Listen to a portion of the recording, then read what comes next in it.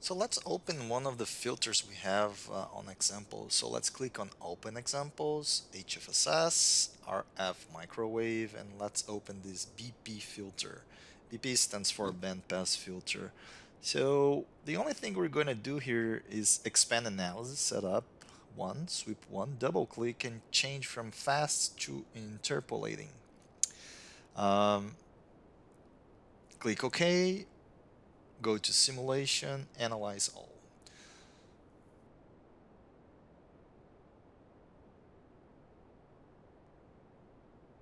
So after the simulation finish, you can open here in results and double click this report. You see uh, both insertion loss and return loss of the filter. Roughly goes from 1 to 2 gigahertz the passband.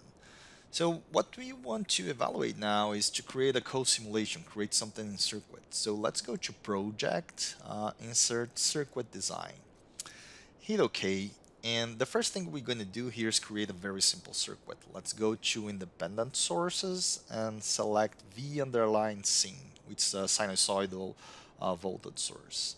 You drag and drop to schematic, you can change the properties here uh, on the left hand side or you can double click I'll just double click change the amplitude to uh, 1 volt. Uh, frequency I'm going to create a variable. I'm going to say this is FR when you hit OK it's going to ask hey this is a frequency value that I need.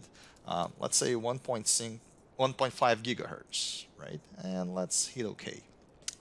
So I have these uh, source. I'm gonna put a grounding here, another ground here on the other side. Press ask and let's just put a, you know, a 50 ohm resistor in here. So you can just uh, connect those, the source to the resistor.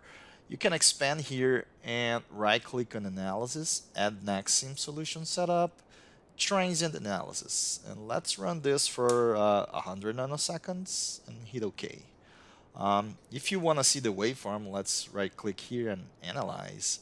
Um, we can right click in results, create standard report, rectangular plot, and then uh, you create new report. So that's the waveform. Uh, it's uh, 1.5 gigahertz, uh, 1 volt amplitude. Uh, you can also plot the spectrum. So you can right click here on results, create standard report, rectangular plot, change domain from time to spectral. Um, and then uh, you can change the maximum frequency to something like uh, 2 gigahertz. You can change the window type, rectangular Hanning. Uh, let's do Hanning. Okay, new report. Okay, 1.5 gigahertz. So what we're going to do now, let's double click here on circuits to go back to the schematic. Um, we want to add the filter in here right? So I'm just gonna select this wire, I'm gonna delete. And what I'm gonna do, I'm gonna click here on HFSS Design 1 and drag that to my schematic. So I have the filter here, okay? Um, just gonna connect this.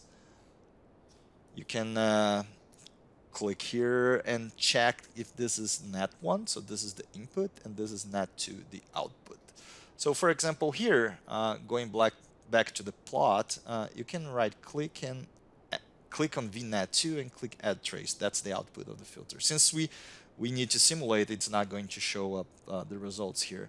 One thing that you can do is change the x-axis. Uh, one thing that is really nice, if you click here on time or any of these number on the x-axis, go to uh, Cartesian.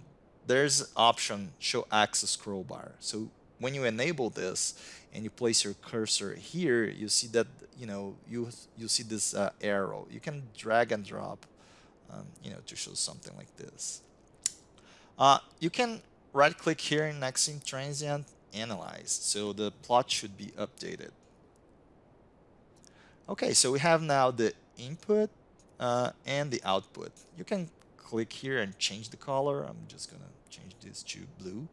If you double click on the circuit, uh, you know, you can drag and drop the plots in here. So uh, I'm just gonna resize the plots.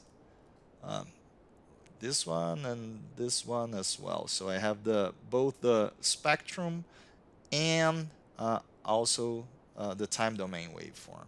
So they are both here on, my schematic. I like to put them uh, you know, together.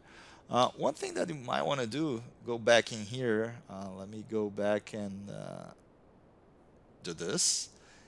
I can actually click here on the number again, and on scaling, I can click on specify and something like, I don't know, 30. So let's show this uh, 30 nanoseconds. So here you can actually see that I have my schematic, um, you know, showing the time domain waveform, um, you know, before and after the filter and the spectrum. You can click here on circuit and change this to something like 0.6 uh, and right click on XIM transient, analyze. So you will see that now at the 0.6, uh, you know, the signal is very attenuated.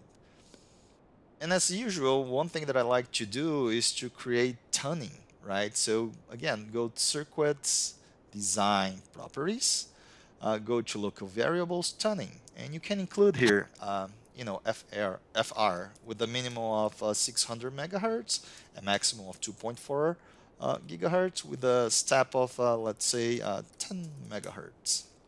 Okay, so, um, you know, if you right click on Optimetrics, go to tuning, um, you can actually uncheck this browse available variations and you can drag uh, the value for this variable fr. So you can see how it changes. The waveform will change now, you know, between 1, 2 gigahertz, um, you know, and when it's attenuated from 2 to 4 and from 6 megahertz up to uh, 1 gigahertz.